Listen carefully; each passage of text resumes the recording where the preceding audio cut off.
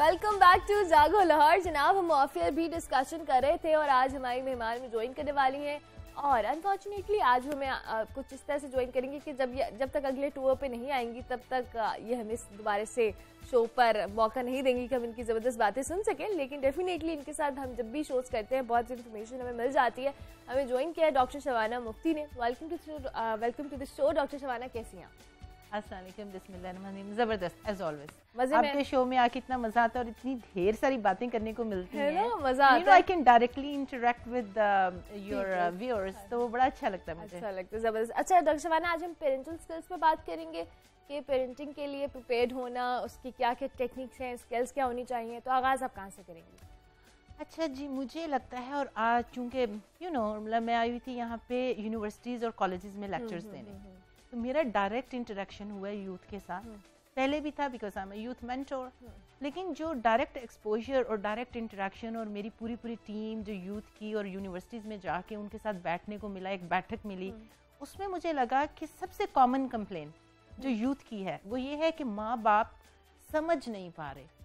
हम हमेशा कहते हैं ना जनरेशनल गैप हमारी जनरेशन और पहले वाले जो हमारे माँ बाप थे उनके अंदर जो जनरेशन गैप हमेशा से रहा इट्स नथिंग न्यू लेकिन जो आज वाली जनरेशन है ना उनके पास डिजिटलाइजेशन की वजह से वो इतने इवॉल्व कर गए हुए हैं और ये पिछले 10-15 साल में इतना ज़्यादा फ़र्क आ हम्म। गया है जनरेशन के अंदर कि वो जो माँ बाप थे 1980 से पहले वो इवॉल्व नहीं कर रहे हम्म, हम्म। और वो वहीं के वहीं अटके हुए हैं जबकि जो नई यूथ और मिलेनियल्स हैं 1980 के बाद जो बच्चे पैदा हुए हैं because of the computers because of this Google and because of all this digitalization वो बहुत आगे चले गए हैं तो इसकी वजह से गैप बहुत ज़्यादा बढ़ गया हम्म, वो एक हम्म। जगह पे अटके हुए हैं ये बच्चे आगे चले गए हैं ये हर चीज़ को वाई कर रहे हैं और इनको लग रहा है कि माँ बाप सुन नहीं रहे उन हम्म। तक ये उनके दिलों जो होता है ना एक गैप और वो उनके दिमाग कहते हैं जी उनके पल्ले नहीं पड़ रहा। बिल्कुल। ये वाला चक्कर हो गया हुआ है और इसलिए बच्चे फ्रस्ट्रेट हो रहे हैं। हम्म, अच्छा माँ बाप भी फ्रस्ट्रेट हो। रहे हैं। एग्जैक्टली बच्चे तो हो रहे हैं माँ बाप भी फ्रस्ट्रेट हो रहे हैं। माँ बाप कह रहे हैं कि हम क्या करें हमें समझ नहीं आ रही बच्चे बदतमीज हो गए हैं अदब नहीं कर रहे और इनका जो तो, तौर तरीका है वो बदल गया है। पहले वाले बच्चों में थोड़ी तमीज थी अदब था। लिहाज था कि बड़ों की अदब करते थे। मसला ये नहीं है। मसला ये नहीं कि बच्चे बदतमीज़ हो गए हैं या बच्चों के अंदर जो ये डिजिटलाइजेशन और एक्सपोजर की वजह से और ग्लोबलाइजेशन जो दुनिया को देख देख के उनके अंदर आ रहा है ना हम्म। वो अब हर चीज़ को क्वेश्चन करते हैं हम्म। और हमारे अगर देखा जाए तो जो गुलामाना जहनीत थी जो सत्तर साल पहले जो हम लेकर चल रहे हैं ब्रिटिश एम्पायर के बाद क्योंकि उन्होंने हमें रूल किया था हमारे अंदर एक डर और खौफ था आजकल वाली जनरेशन में वो डर और खौफ नहीं है हम्म। जो हमारे अगर कोई भी इंसान कम्पिटेंट हो, मैं कहती हूँ हमेशा उर्मिला कि अगर कोई भी इंसान कम्पिटेंट हो, उसको पता हो कि वो क्या बात कर रहा है। उसके पास नॉलेज हो विजडम हो, और वो आगे से सही तरीके से बच्चे को गाइड कर सके, चाहे वो टीचर हो या माँ बाप हो। माँ बाप को भी पता है कि where they are coming from और अगर कोई बच्चा क्वेश्चन कर रहा है तो क्यों कर रहा है, और बच्चे को सिर्फ़ रिलीजन का सहारा दे के अगर आप कह देना कि नहीं this is what it is हमने तो ऐसे ही करना है। बच्चे कहेंगे नहीं हमें बताओ कि इसके पीछे लॉजिक क्या है। प्रैक्टिकली हमें समझाओ। और अगर वो लैक ऑफ़ नॉलेज हो तो किसी टीचर या मैंटोर से बात कर लें। अगर टीचर और मैंटोर को भी वो नॉलेज नहीं होता तो आप लोग पर्सनल हो जाते हैं बच्चों के साथ। हम्म। आप उन्हें कहना शुरू कर देते हैं तमीज़ नहीं है बेअदब हो। हम्म। भाई अगर आपको नॉलेज नहीं है तो आई डू नॉट नो कह दें। हम्म। अपनी ज़ात में ईगो को लेकर मत आए कि बच्चे बदतमीज़ हो रहे हैं। वो ये है जी कि वो गैप बढ़ता जा रहा है और दूरियाँ आती जा रही हैं। अच्छा ईगो के अलावा डॉक्टर शवाना कुछ हम लोग यही समझते हैं कि हम बड़े हैं तो हम ही बच्चों को सिखा सकते हैं। डेफिनेट जैसे आपने बात की एक्सपोयर से बच्चों की जो डिजिटल डिजिटल जो आप कह लें फॉरम्स पे आने के उस एज में आने की वजह से उनकी बहुत सारी चीज़ें जो हैं वो बढ़ गई हैं एक्सपोयर बढ़ गया है। वो चीज़ वो एक्सेप्ट नहीं कर पाते और जब कोई बात अगर बच्चा सही भी कर रहा है तो उसको हम डिनाइल मूड में दबा देते हैं। हम हाँ। कहते हैं कि एक तो अना रस्ते में आ जाती हाँ। है कि भाई ये बच्चा हमसे कैसे बात कर रहा है इसको कैसे हम्म। ज़्यादा नॉलेज है दूसरा कभी कभी बच्चों की भी गलती है हम्म। बच्चे ये करते हैं कि कभी कभी सिर्फ़ लेग पुल करने के लिए ना अपने टीचर्स की हाँ। या कभी सिर्फ़ किसी को तंग करने के लिए क्वेश्चन करते हैं हम्म। और जहन में ऑलरेडी उसका आंसर बना के बैठे होते हैं और सिर्फ़ अगले को तंग कर रहे होते हैं ये चिड़ा रहे होते हैं तो ये दोनों तरफ़ म्यूचुअल ट्रैफ़िक है कि दोनों को समझना चाहिए माँ बाप एक जगह रुक नहीं सकते बढ़ते टाइम के साथ अपने आप को इवॉल्व करें अगर हम वो पंद्रह बीस साल पहले वाले सारे रूल्स रेगुलेशंस लगाएँगे तो वो काम नहीं करेंगे हम्म। और जो बच्चे हैं उनको अपनी वैल्यूज़ अगर हम कहेंगे कि वैल्यू ये है कल्चर ये है तो आजकल तो बच्चे जीन्स पहनते हैं जो आगे से यहाँ से फटी होती है तो वैल्यूज़ और कल्चर जो है अल्लाह ये वाली जीन वाली बात ना आपने डायरेक्ट मेरे घर की कहानी है। रोज डिस्कशन जब भी कहीं बाहर किसी लड़के को पहनी हुई देखी होंगे घर आके नई डिस्कशन चढ़ जाती है कि तमीज है ये क्या बच, वो लड़के वो टाइट जीन्स पहन के फिरते हैं। पहले हाँ। हम कहते थे ये तो लड़कियाँ पहनती हाँ, हैं। हाँ, हाँ, हाँ. तो फ़ैशन बदलता रहता है। ये वाली मैं हमेशा चीज़ कहती हूँ कि ये जो चीज़ें है ना कि ये कपड़े पहनने वो कपड़े पहनने एज लॉन्ग एज वो मॉडस्ट है। हाँ। कोई वल्गर नहीं है कोई ऑब्सीन नहीं है। ये चीज़ें बड़ी पेरीफ्री ऑफ़ लाइफ में होनी चाहिए। पेरीफ्री ऑफ़ लाइफ का मतलब है कि इसको सेंटर या कोर बना के इतना प्रेशर या स्ट्रेस और अपनी मेन डिस्कशन का यही टॉपिक नहीं होना हम्म, चाहिए हम्म, कि तुमने क्या पहनना है तुमने कैसे बात करनी है। ये सारी चीज़ें आहिस्ता आहिस्ता आप घर के माहौल से सीखते हो। लेकिन इसको इतना ग्लोरीफाई ना करो कि जो मेजर सब्जेक्ट है जो मेजर लाइफ के अंदर इश्यूज़ हैं वो डिस्कस नहीं करने वो कारपेट के नीचे घुसा देने। और छोटी छोटी बातों पे हम दिन में इतना टाइम गुजार देते हैं कि वो मेजर चीज़ें बच्चों के साथ डिस्कस नहीं हो रही। मेजर हम्म। चीज़ें ये हैं जी कि उनके साथ आप बैठ के बात करो। मैं कल किसी एक पार्टी पे थी जहाँ पे एक वालदा आई और वो बड़े गुस्से हो रही थी बच्चे के साथ कि सात बजे से लेके दस बजे तक रात तक इसने साइंस की स्टूडेंट है इसको पढ़ना चाहिए। हम्म। मैंने कहा इसके एक्स्ट्रा करिकुलर क्या है? एक्स्ट्रा करिकुलर का तो हमारे पास टाइम नहीं है। और इसको पढ़ना चाहिए इसके ग्रेड्स का। और वो मुझे लग रहा था कि माँ के ऊपर अपना इतना स्ट्रेस है हम्म। और वो अपना स्ट्रेस बच्ची के अंदर मुंतकिल कर रही है ग्रेड्स का। कि ये अच्छा पढ़ेगी पढ़ेगी पढ़ेगी। अच्छा पढ़ रही है अच्छा करियर करना है, इसने इसके पास किसी और चीज़ का टाइम नहीं। सबसे पहले तो माँ बाप को ये देखना चाहिए कि बच्चे को अगर आप फोर्स कर रहे हैं कि ग्रेड्स अच्छे आएँ which is very good grades बच्चों का काम है कि ग्रेड्स अच्छे आएँ माँ बाप का काम है, उनकी जॉब है कि मोहब्बत दें सेल्फलेस मोहब्बत करें बच्चों के साथ। लेकिन इतना प्रेशर और स्ट्रेस अगर वो बच्चों को दे रहे हैं। सुसाइडल रेट उसकी वजह से बहुत हाई हो गया हुआ कि बच्चों के ग्रेड अच्छे नहीं आ रहे और इतना स्ट्रेस कि बाकी दुनिया छोड़ दो hmm. कोई हेल्थी एक्टिविटी नहीं सोशल सर्कल छोड़ दो बच्चे. अब बस पढ़ो पढ़ो पढ़ो.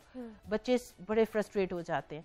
सबसे इंपॉर्टेंट बात यह कि ये पता करें कि अगर आप बच्चे को इतना स्ट्रेस या फ्रस्ट्रेशन दे रहे हैं तो दे क्यों रहे हैं? आप क्या चाहते हैं कि वो बच्चा जाके हैप्पी हो या सिर्फ़ करियर करे? गोल क्या है आपका? मतलब वो कहेंगे जी करियर हो। क्योंकि करियर होगा तो वो सक्सेसफुल होंगे। सक्सेसफुल होंगे तो पैसा आएगा। मसला ये है कि टांग जाके टूटती है पैसे पे। हम्म। पैसे को हमने इतनी अहमियत दे दी हुई है कि माँ बाप भी सिर्फ़ बगैर सोचे समझे कि बच्चे की खुशी किसमें है। चाहते आप ये हैं कि बच्चा खुश इंसान बने। चाहते आप ये हैं कि बच्चा प्रोडक्टिव बने। चाहते आप ये हैं कि वो अपने फैसले खुद कर सके और ज़िंदगी में खुश रह सके जब वो मच्योर हो हम्म, जाए। हम्म, लेकिन अनोइंगली सबकॉन्शियसली आप उसको इतना स्ट्रेस दे रहे हैं कि ग्रेड्स अच्छे आए ग्रेड्स अच्छे आए और दौड़ लगाई हुई है आपने अपनी क्योंकि बिकॉज़ समटाइम्स माँ बाप खुद कहीं पे कोई ना कोई कमी थी या पैसे की वजह से वो खुद जो है कहीं ना कहीं पीछे रह गए। वो चीज़ वो चाहते हैं कि बच्चा जो है उस रेस में पीछे ना रहे। हम्म। और अपनी में रूमिया उसमें मुंतकिल करके कहते हैं कि बस करियर करियर। मैं माँ बाप से बात करती हूँ मुझे लगता है कि बच्चों से ज़्यादा माँ बाप को जो है ट्रेनिंग की, की और काउंसलिंग की ज़रूरत है। उनसे बैठ के कोई पूछे कि आप चाहते क्या हैं कि बच्चा खुश रहे सक्सेसफुल रहे? खाली ये नहीं है कि पैसा आने से वो सक्सेसफुल होगा। बड़े बड़े अमीर लोग देखें जो सेटिस्फाई नहीं है। सेटिस्फाइड नहीं लाइफ में और नाइन टू फाइव जॉब करके और बहुत पैसा कमा के सुसाइड कर लेते हैं। हम्म, हम्म। क्योंकि ज़िंदगी गुजारने का जो उनको अमल है या ज़िंदगी एक्सपीरियंस करने का अमल जो है खूबसूरती वो नहीं हम्म, आती। अब अगर आप अपने बच्चे को कहेंगे कि आपने फ्रेंड से नहीं मिलना तो उसकी सोशल स्किल्स आप शुरू से ख़त्म कर रहे हैं। और मैंने इतनी दफ़ा बताया है कि आई क्यू इंटेलिजेंस कोशंट और इमोशनल कोशंट इमोशनल कोशंट होता है आप अपने जज्बात को कैसे कंट्रोल रखते हैं और लोगों के साथ कैसे इंटरेक्ट करते हैं।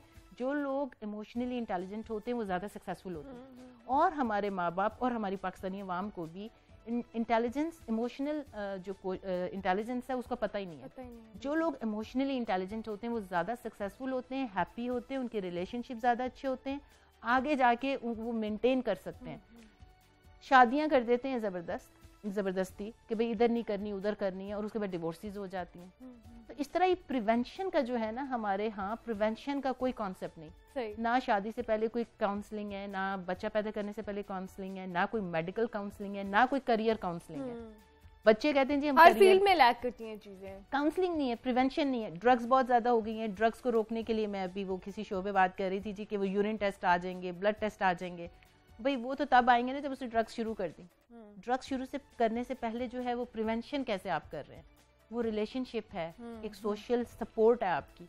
बच्चे उस सपोर्ट को they are feeling the lack of it वो कह रहे हैं हमारा वो लैक नहीं वो नहीं है सपोर्ट सिस्टम घर में। हम्म। एक नई चीज़ बच्चों ने पकड़ ली हुई है स्मार्ट हो गए हैं। माँ बाप से बहस नहीं करते। उस बहस को बचने के लिए जो है वो हाँ हाँ कह के बाहर चले जाते हैं। बाहर जाके करना उन्होंने वो है दिल करता है। तो they are more reliant on the friends अगर वो इतने ज़्यादा डिपेंडेंट होंगे पेयर प्रेशर पे तो फिर ये बहुत इंपॉर्टेंट है कि उनके आगे से फ्रेंड्स कैसे हैं हाँ। अगर अच्छी कंपनी है लकली तो बच जाएँगे हाँ। अगर अच्छी कम इस एज में कम होता है कि आप एक्सपेरिमेंट ना करें एडवेंचर ना हाँ। करें तो वो हो सकता है बेरा रवि की तरफ़ चले जाएँ तो अगर आप घर में उनके साथ उनके दोस्त नहीं बनेंगे उनकी बात नहीं समझ सकेंगे। तो उन्होंने कहीं ना कहीं जाके वेंटिंग करें और आपका उस्ताद या कोई ऐसा यूथ मेंटोर उसकी ज़िंदगी में लेकर आए जो उनको जज किए बगैर हम्म। जो उनको जज किए बगैर उनको एडवाइस कर सके एडवाइस कर सके अच्छा पेरेंट्स की समटाइम्स वही ओपिनियन तो वेरी करते हैं बच्चों और वो जनरेशन गैप भी है कुछ एक्सपोजर की भी कमी है लेकिन एट द एंड बहुत सारी चीज़ों में हम बच्चों को फोर्स करते हैं फोर्स हाँ। करने से बच्चे जो है बागी भी होते हैं हाँ। और ये सारे सिनेरियो में फिर पेरेंट्स एट पे ब्लेम ब्लेम कर देते हैं कि जनाब बच्चा ही हमारा ऐसा है या इसने इधर उधर से सीख लिया इसने ये कर लिया इसने वो कर लिया। तो ये जो ब्लेम गेम का मामला है ये फिर कभी कभी बहुत कम्युनिकेशन की कमी है ना? हाँ, हाँ, हाँ. और वो यही बात आ गई कि जो डिस्टेंस है वो इंक्रीज होता जा रहा है। माँ बाप जो है वो एक जगह पे अटके हुए हैं। बच्चे तेज हो गए हुए हैं वो हम्म। बहस नहीं करते।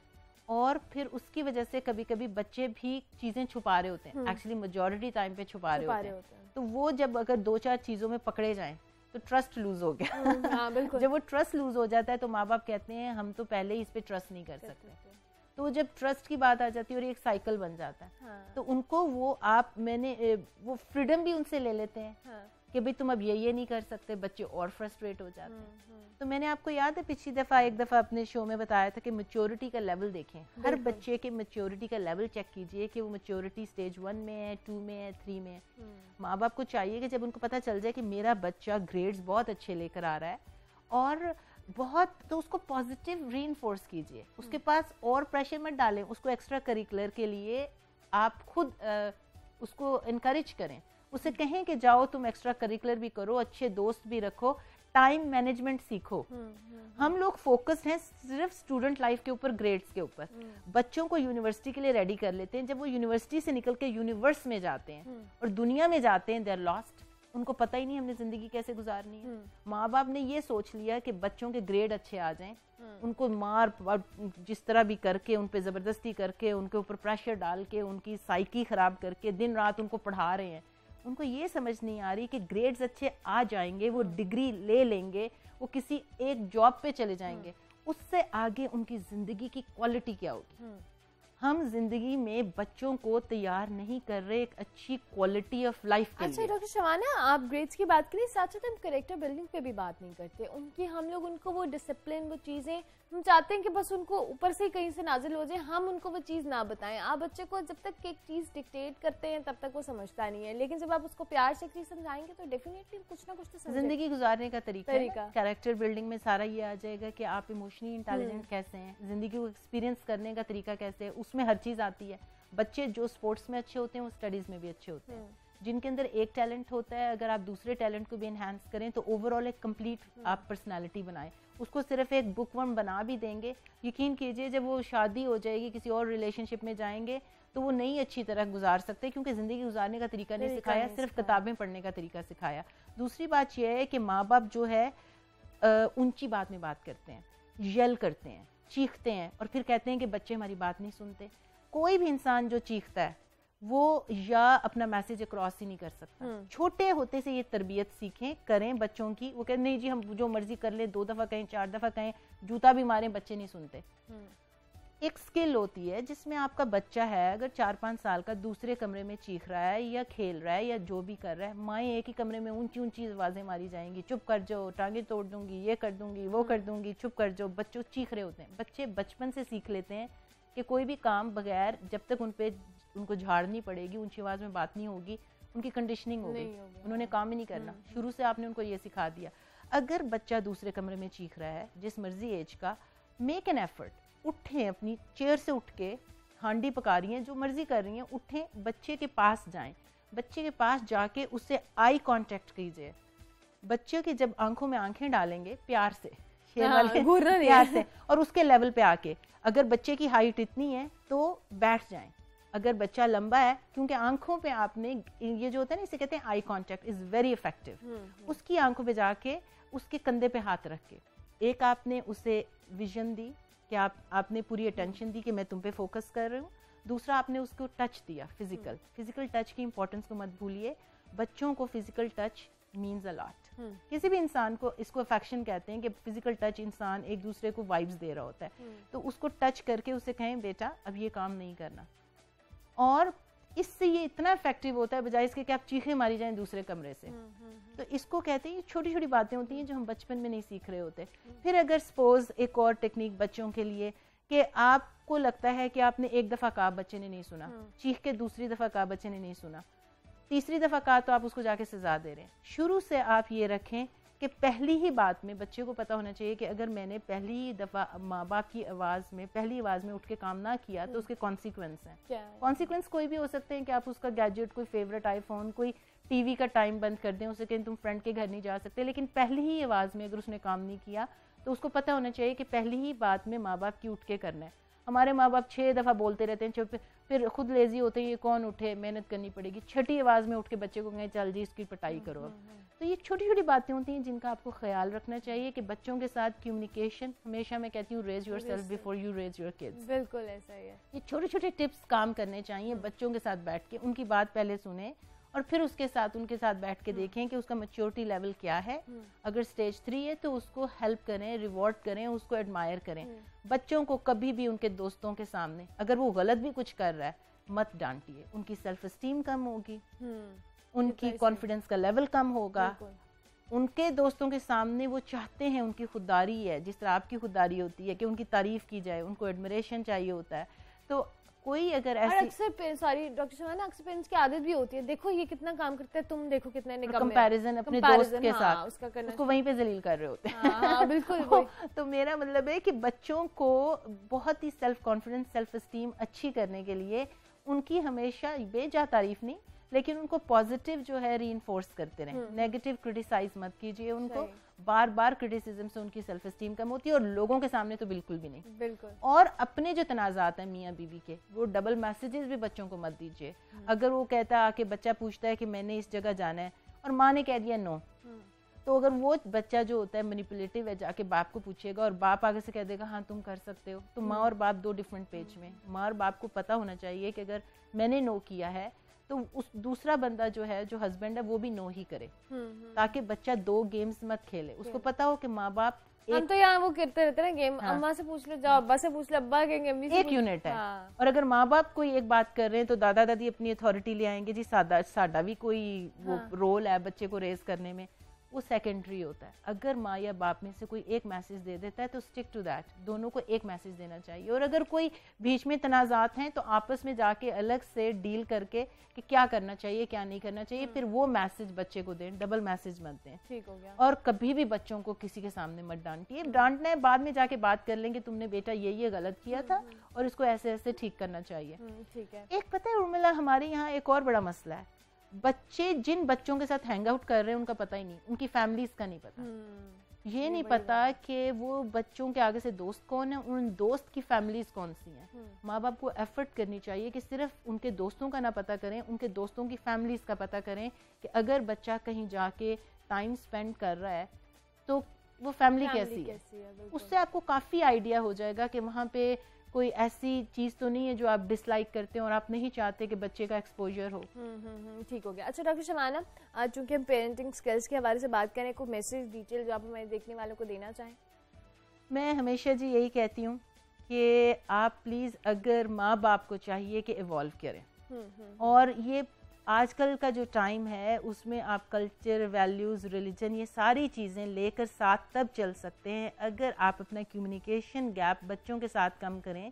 इसका ये मतलब नहीं कि जाके जो है कंप्यूटर साइंसेज आप भी सीख लेंगे उनमें बच्चा जो है वो आईफोन हम्म। पे बहुत रहता है। उनको ज़िंदगी गुजारने का तरीका सिखाएँ सिर्फ़ ग्रेड्स हासिल करने का नहीं।